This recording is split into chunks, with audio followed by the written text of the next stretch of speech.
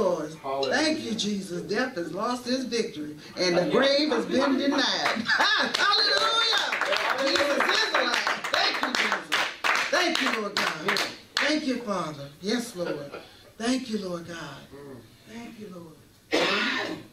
Thank you, Lord. Thank you, Lord God. And at this time, at this time, we're going to bring our hearts and minds, and it's, it's time to hear from the Lord. And we thank God for this time. This is what we came for. We came to worship and magnify Him, and to also to hear from Him, because the Word takes us through the whole week, and gives us strength. When most of the time, when God gives you something, it uh, it's right for that week. One time, um, Pastor preached, and as soon as I walked out the door, it hit me in the face about chasing down lies. And he said, What did I just preach about? I said, Thank you, Lord. I just thank God for his word. And I want to thank God for the man of God who God has brought here today to bring forth the word. It's my brother, Apostle John Morton. And let me tell you a little bit about him. We grew up together and with love. I think me and him was the closest out of all of us. I truly believe. Sometimes we fall out, but we always get back together. And I thank God for that because it's a bond that cannot be broken no matter what. The enemy has tried and tried again, but it has, but he has failed Yes. all his tries because he has no power.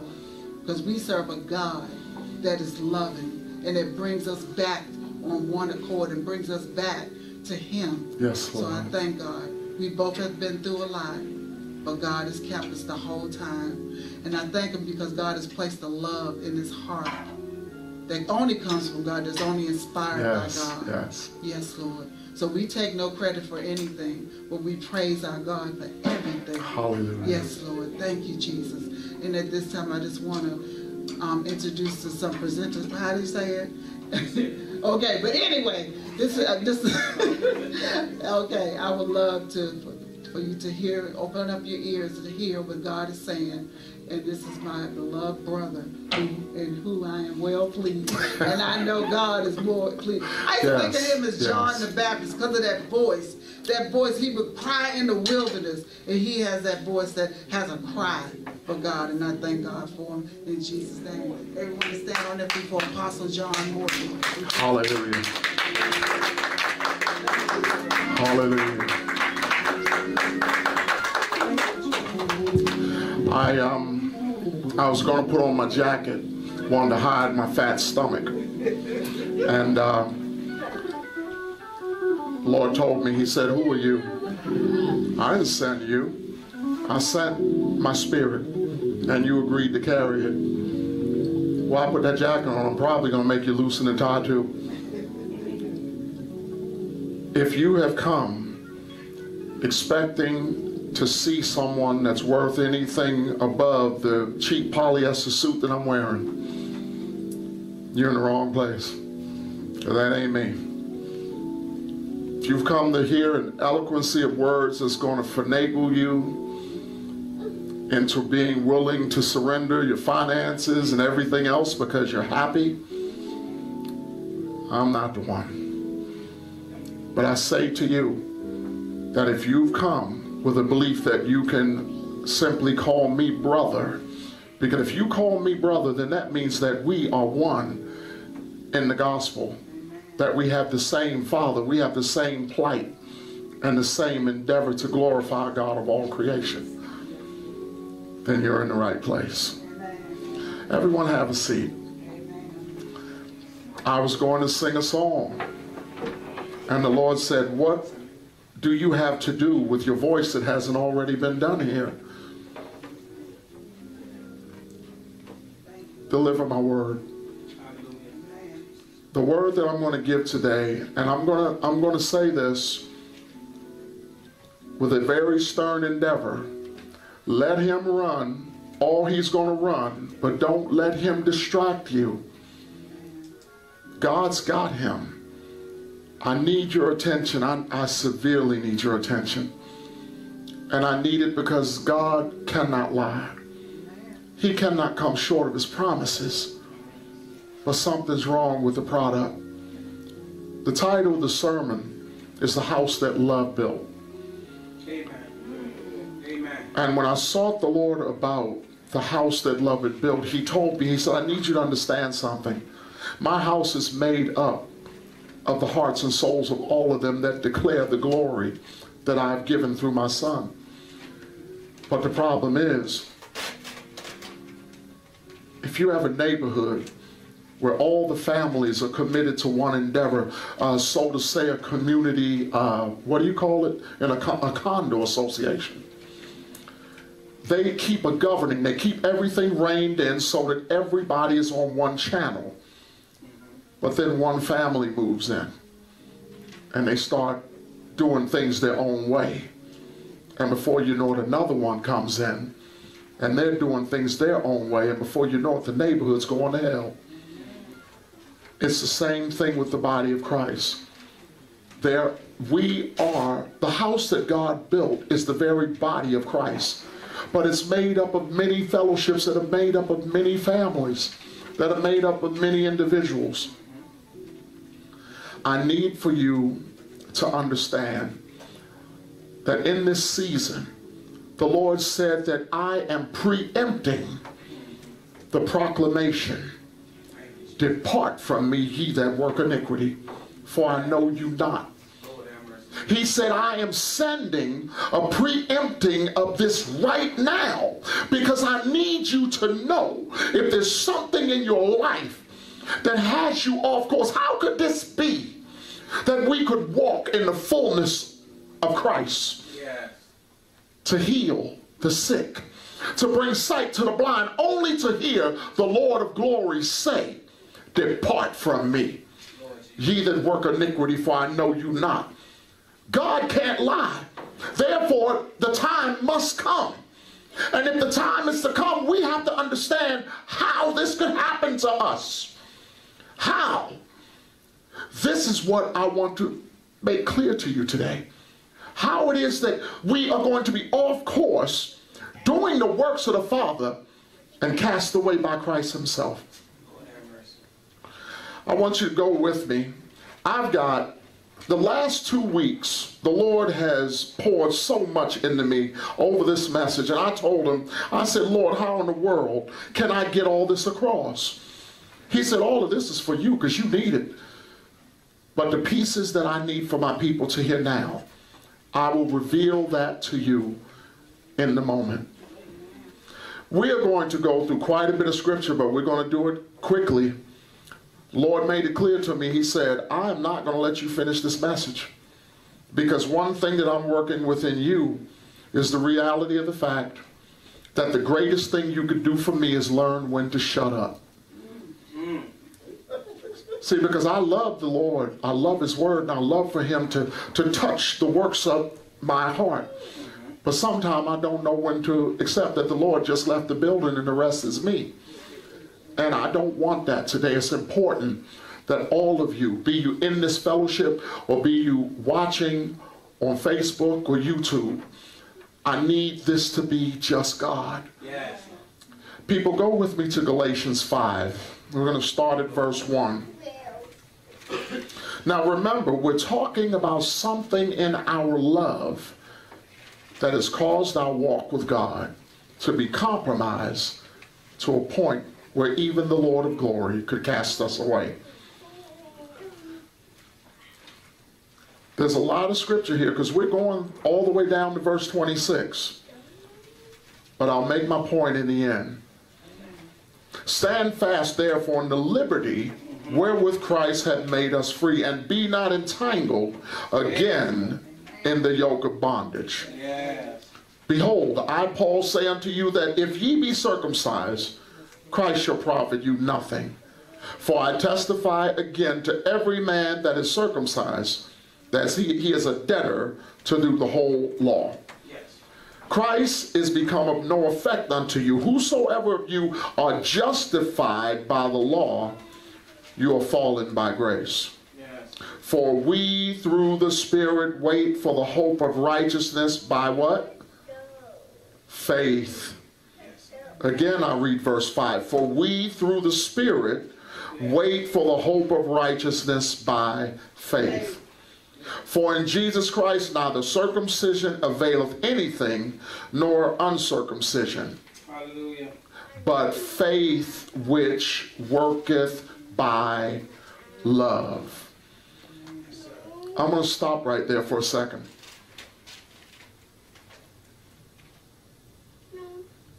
There was a there was once a pastor who was in a very dire strait position spiritually. They were ready to shut their fellowship down. And the Lord sent to this pastor a couple and gave this couple to that pastor. And they poured out everything that God told them to do. And they watched her spirit stand back up. They watched her back straighten. They watched her begin to run again. They watched her begin to minister in ways she had never ministered before. And one day, she said to them, I just can't believe that anybody could love me this much. I'm just waiting for the ball to fall because this ain't this ain't normal. This is uh, too much to, to believe. Yes. if you can't believe loving your brother in front of you, how are you going to believe the love of God that you can't see? But that was the word that was spoken to that couple. Eventually, God removed them because when when God sends someone to show you unhindered love, love believes all things. Love accepts all things. Love doesn't vaunt itself, but it lifts another. But if you don't have real love, you can't even believe love coming from another. And do you know what the enemy does? He tells them you better get them before they get you. And that's what happened to that couple. The point of the matter is, is our love real? I just read a scripture and it said faith worketh by what? By love. If you have an automobile, God gave me a vision yesterday, and in the vision, I took an automobile to someone, a brand new car, took it off of the back of a flatbed. The people put it there in the driveway, and I knocked on the door, and they came, and I said, I got something special for you. They came to the out to the driveway and I gave them the key and they said, oh my God, oh my God, you bought me a car. Let me drive it. They went to get I said, oh, wait a minute. There ain't no gas in it. There's no gas. Faith worketh by what? So many declare their faith. They declare their commitment to God it, and the faith that they bear, which they believe in, but they have no love. But faith worketh by love, like the car worketh by gas. The car on the curb with no gas is nothing. Faith without love is nothing. You have it, you proclaim it, you declare it, but when a time of tribulation, trial, and error come, the faith you have fades because it has no fuel. It has no fuel. Our, too many of us, our faith is based on the belief in what we believe we can get from God. Faith is not about what we can get from God. Faith is a belief in all that he established in us. You're talking to one who came from the fivefold of Satan. Crackheaded, alcoholic, manipulating, lying, fornicator. I never believed I would make it to 50 years of age. I had no reason to believe it. Why? My love didn't know who God was. It didn't know what he had really established in me. I could not see where all of this really came from. I look at the fellowships and I see my wife and I, we live in Florida. But our membership is here, 900 miles away in Agape. Why? Because I've been in too many houses and seen messengers selling bad product. If you bought a Rolex worth $5,000 and you paid $5,000 for it. The last thing you want to admit after having it for 10 years and showing it to everybody is it's junk. It's not real. Something about it is fake. But you know what? If you had the slightest inclination, you want to know, you're going to take it back to the manufacturer, see if it meets their standard. because they're going to give you the truth. What's going to happen today if you take what you say is a, the faith that you have in God, if you take it back to Him and He tells you it's inoperable because it's not running on love, it's running on lust, the lust of the flesh. The scriptures say, hold on a second, let me get ahead of myself just a little bit. James 4 1 through 6. From whence cometh wars and fighting among you? Come they not hence even of your lust that is in your members? Jesus. We can't get along because we want something. We always want something. Always. Ye lust and you have not. You kill. You desire to have and you cannot obtain. You fight and you war, yet you have not. But get this. It goes on in verse 2 to say, because ye ask not. So the scriptures telling us if we ask God for something, we're going to get it. How often are we asking and not getting it? Too often, right? Too often. Let's see why. Verse 3 You ask not and receive not, because you ask amiss, that you may consume it upon your lust. You're not asking out of the spirit of love. All you're thinking about is what you want to consume something. You want to consume the, the ability to brag about what you got. We pray and ask the Lord for things. My wife and I sought him about where were we moving. We're looking at apartments. We decided we would pay 1500 for an apartment.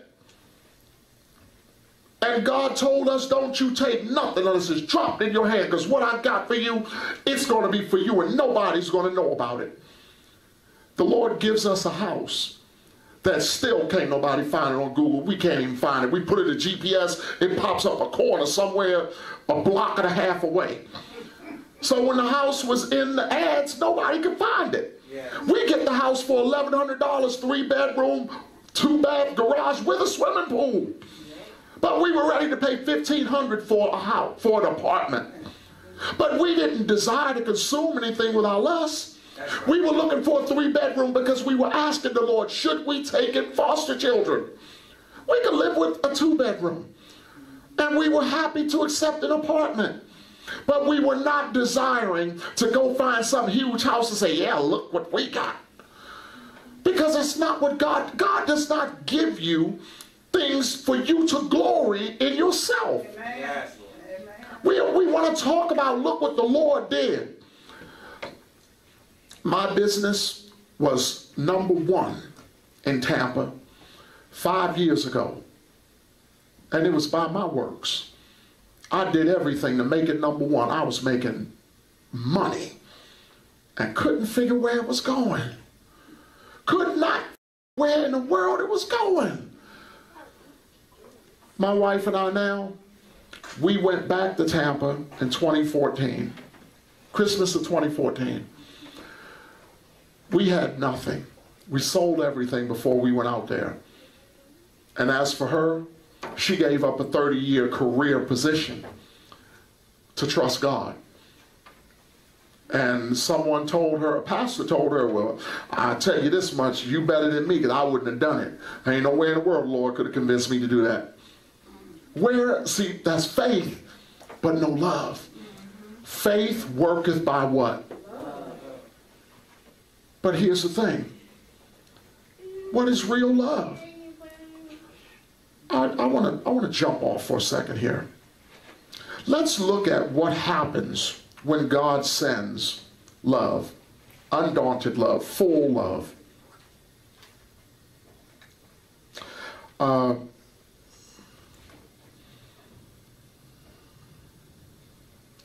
Pastor, I'm trying to think of the scriptures where it's in um, Isaiah. He said, A root shall come out of the stem of Jesse. And he talks about the things that he will impart in him. Can you remember the scripture? Yes. Could you get that for me? Can you get that scripture for me? Everything has ingredients. a cake has ingredients. There's one thing that I want to show you that God imparted in Christ that we don't have. Love has attributes, and if there's one attribute missing from love, it ain't love. It's now become what it is that you want. Isaiah 11:10. Isaiah 11:10. See, I am not the one that knows scripture and verse. But the scriptures say, I've locked thy word in my heart away in my heart that I might not sin against thee. But see, see why we need each other? That's why we need each other. We're on an equal plane in here. There is no pulpit and there is no pulpit and congregation. We are the brethren of the gospel. Let me know when you got it, Pastor. I want you to read it.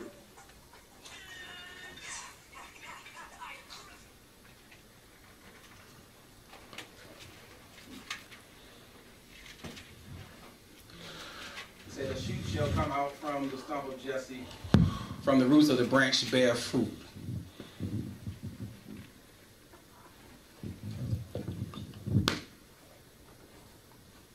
Let's make sure that's the right one.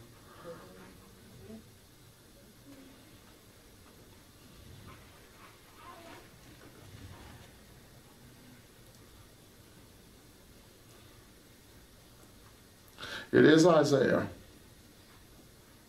Where are you at? Isaiah 11. Read it again. You want to start the first verse? Yeah. And there shall come forth a rod out of the stem of Jesse, a branch shall grow out of his roots, Keep going. and the Spirit of the Lord shall rest upon him, and the Spirit of wisdom and understanding, and the Spirit of counsel and might, the Spirit of knowledge, and the Spirit and the fear of the Lord, and shall make him a quick understanding of the fear of the Lord. Okay. What were you going to say something, sister? Oh, okay. Now, now here's what I want you to understand about what he just said. Read the attributes again, each one of them. Wisdom, Wisdom. knowledge, understanding. Where is the fear of the Lord with us? It said that he will give, also give him the fear of the Lord and the understanding of the fear of the Lord. This is where we failed. This is where we failed. We have no fear of the Lord. And when we look at 2 Timothy 3, it says that perilous times shall come. But haven't times been perilous since the day that Adam was kicked out of the garden? Well, not among the people of God, it wasn't. But today it is.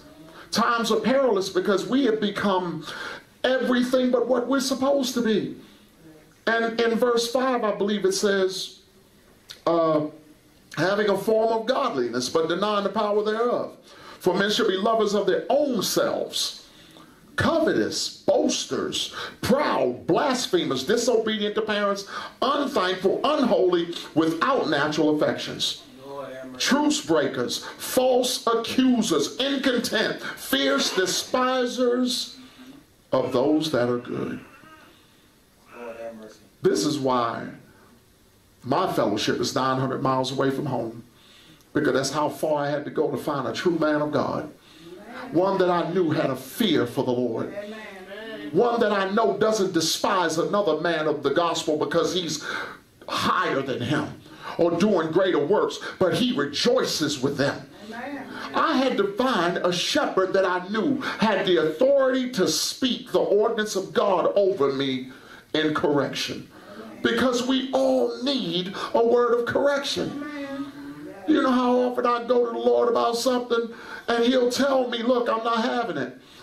And I'll keep asking him, well, Lord, um, you know, I, I, I'm going to do this. And, you know, if you got a problem with it, let me know. And he'll stand there with his arms folded and looking at me like, you heard what I said to you.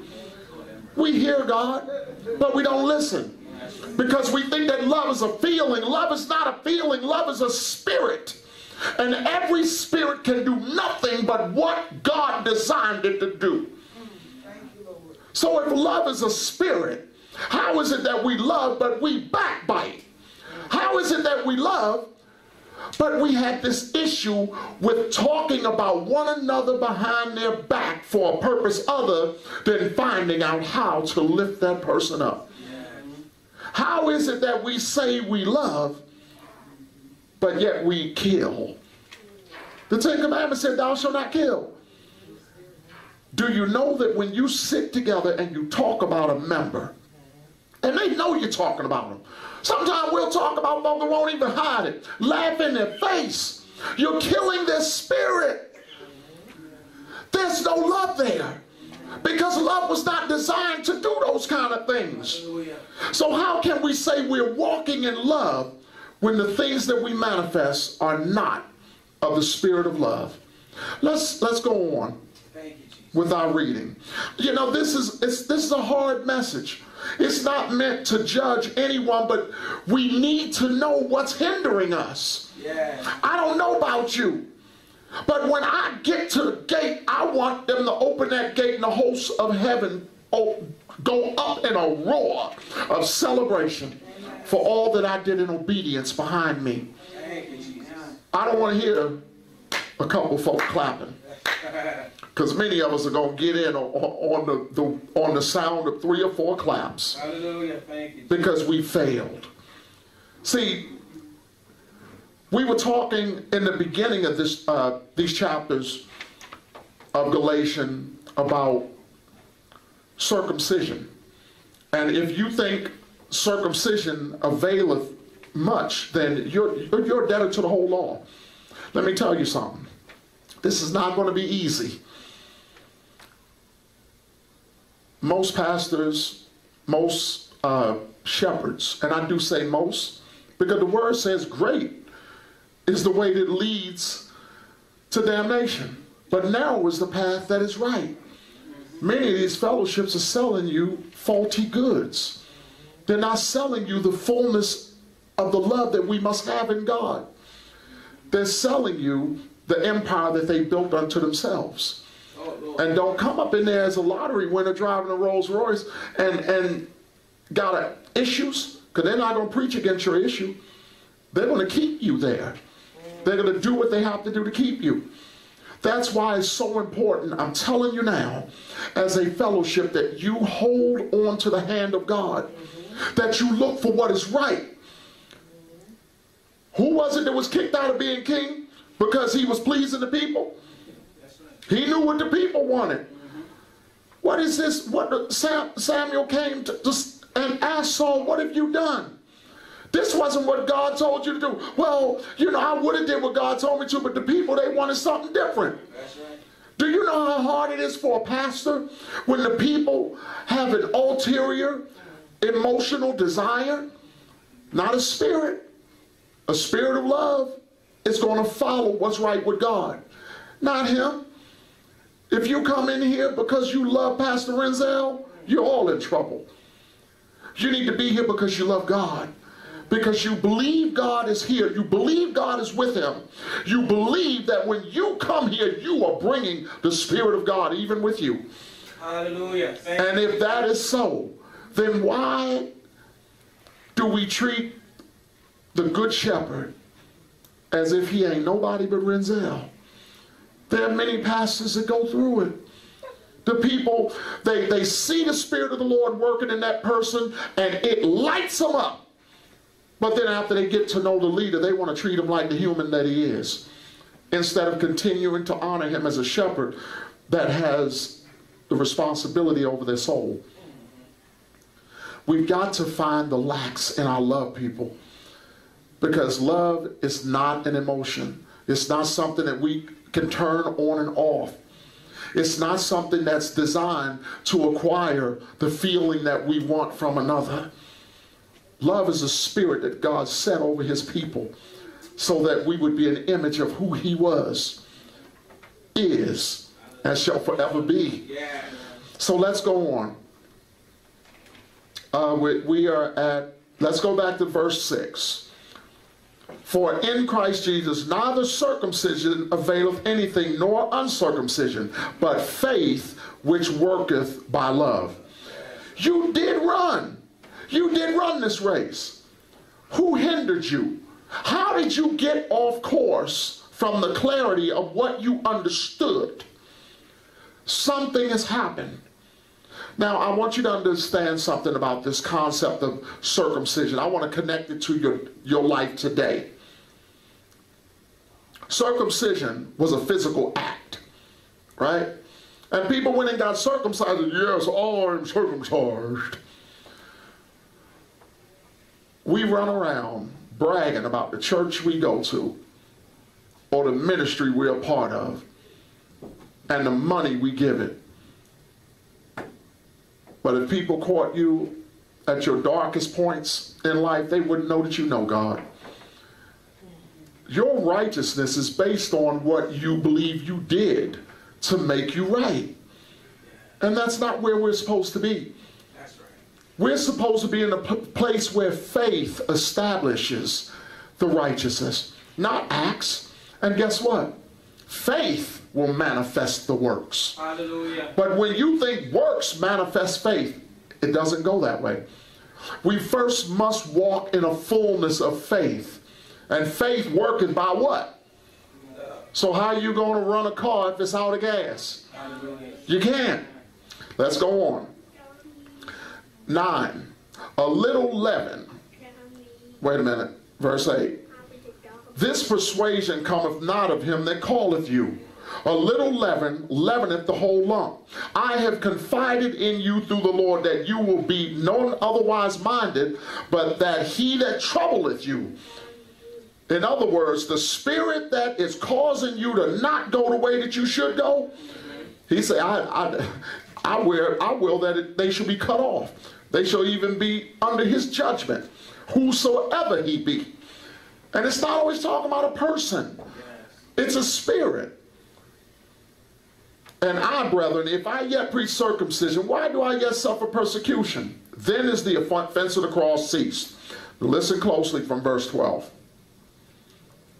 I would that they were even cut off, which trouble you. For brethren, you have been called unto liberty. Only do not use that liberty as an occasion to the flesh, yes, but by love serve one another. Jesus. Do not use your liberty as an occasion to the flesh. Oh, you know what? the Lord understand. The Lord know my heart, but that sister get on my nerves. She ain't no good. I ain't ready to stand there. Do not use your liberty as an occasion for the flesh, but by love serve one another. Yes, Jesus. You know, I when I see somebody that's just, I mean, just whacked out off the train, I'm like, Lord, help us. Because it ain't just her, it ain't just him, it's us. Because I'm a part of that body. Do you know what it means when you're running a marathon and your pinky toe gets a cramp?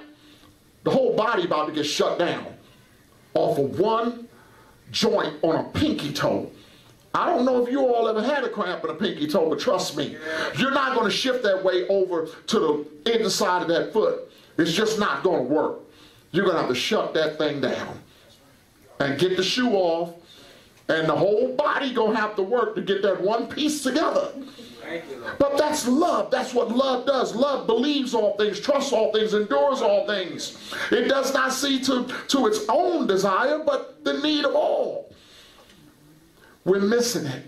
We're missing it. Our fellowships can't even. We, the, we just read in Timothy, without natural affections. Yes. We got an automobile. We see that sister sitting over there on the bus stop, dark clouds coming.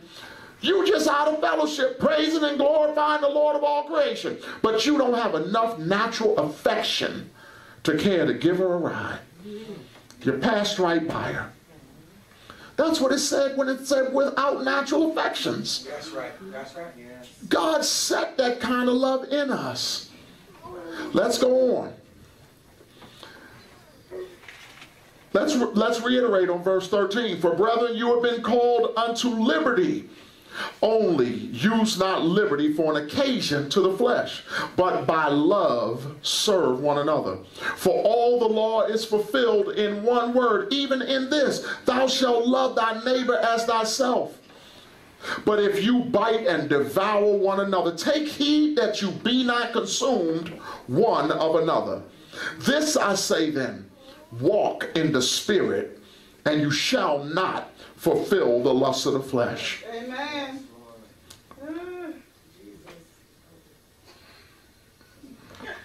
That's I wasn't finished, but I, the Lord just said, stop.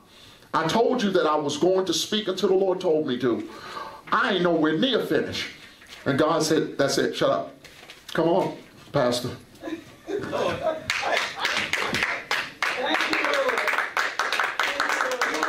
Praise. Give the Lord praise. Give God praise. Y'all to give God some praise. Hallelujah. Come on, give God praise. Come on and give the Lord praise. Hallelujah. Come on and give the Lord some praise in this place. Hallelujah. Do y'all speak English? Everybody here speak English? Sie Deutsch? Habla español? Parlez-vous français? Hallelujah. Hallelujah. Hallelujah. But that's the same word in every language. Hallelujah. Hallelujah. Hallelujah. Hallelujah. He could have preached another hour. If you didn't get that scripture he just said, you didn't get the message. Hallelujah. Hallelujah. You understand? Uh-huh. Hallelujah. Walk in the spirit and you will not fulfill the lust of the flesh. If I'm in Chicago, I'm not in New York. Hallelujah. Hallelujah. Hallelujah. Can I explain it? Hallelujah. Is that any, any better? You still speaking English? Hallelujah. Hallelujah. Hallelujah. Thank you, Jesus. Hallelujah. Thank you. If you're walking in the spirit, you're not in the flesh. Hallelujah. Hallelujah. Thank you, Jesus. It's just that he said, My yoke is easy and my burden. We man complicates it. We put toll booths. Hallelujah. Hallelujah. We put we insurance fees and amen. Hallelujah. We charge taxes and amen. As you come into the door, you got to pay this much. Hallelujah. Door fees and prizes. Amen.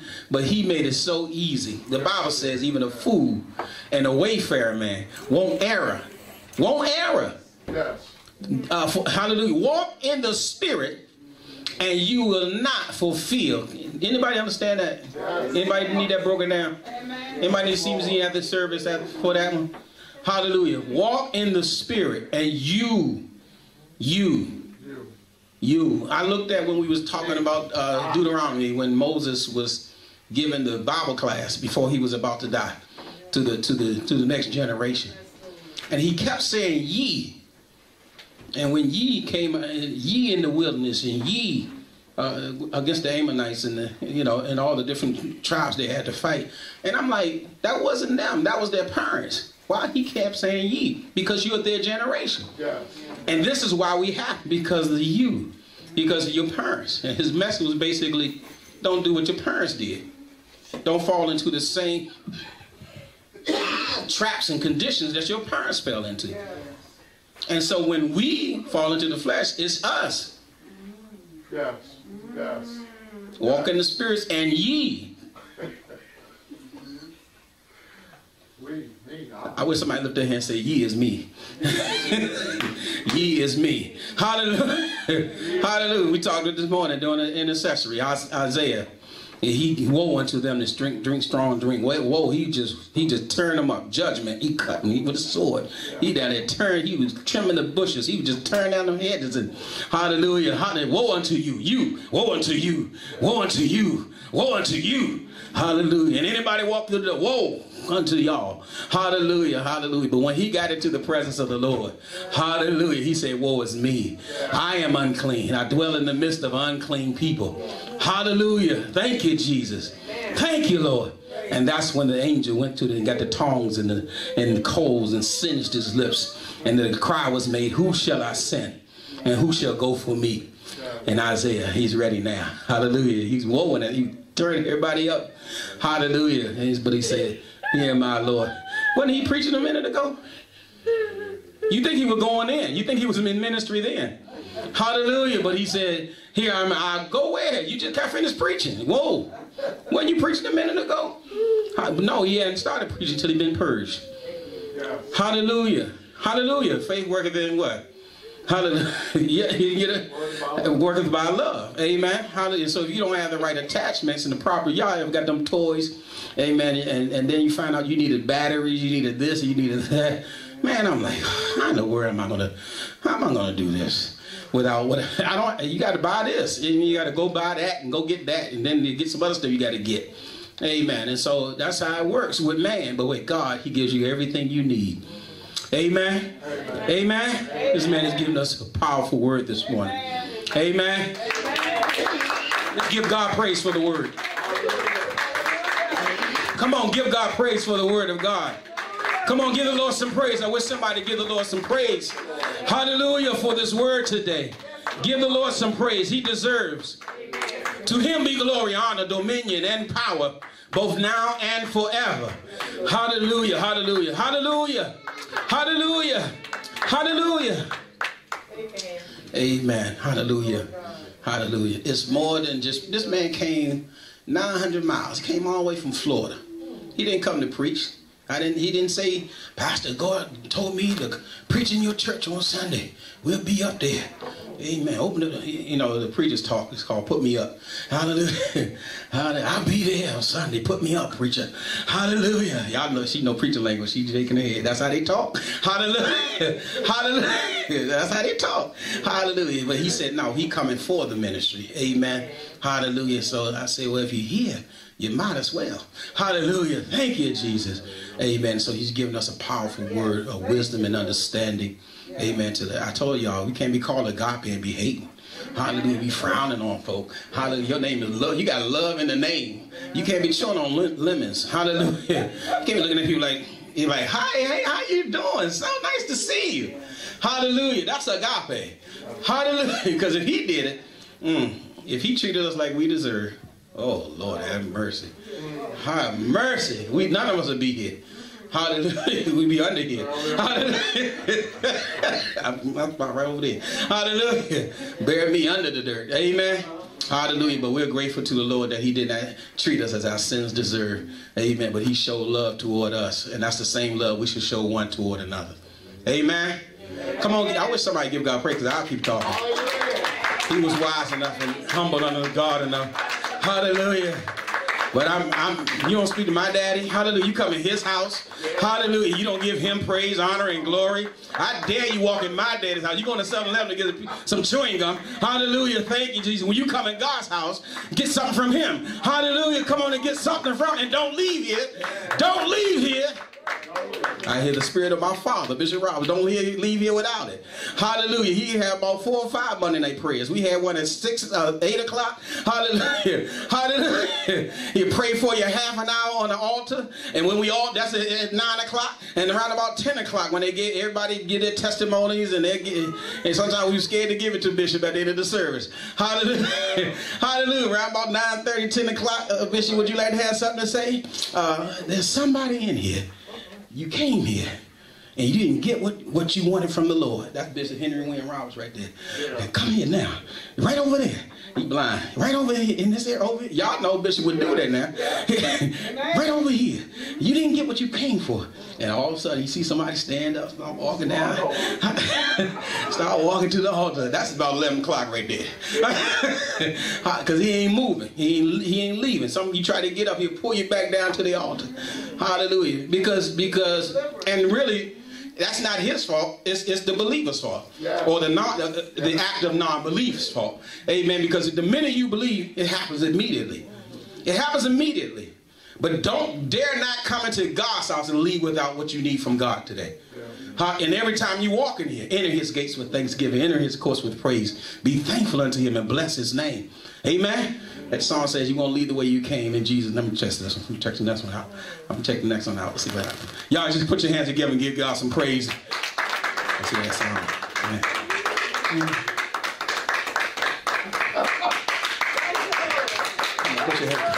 Give God, give God his praise. Can I say it? Come on, give God Give God his praise. Come on. Come on, come on. Come on, give God his. Come on.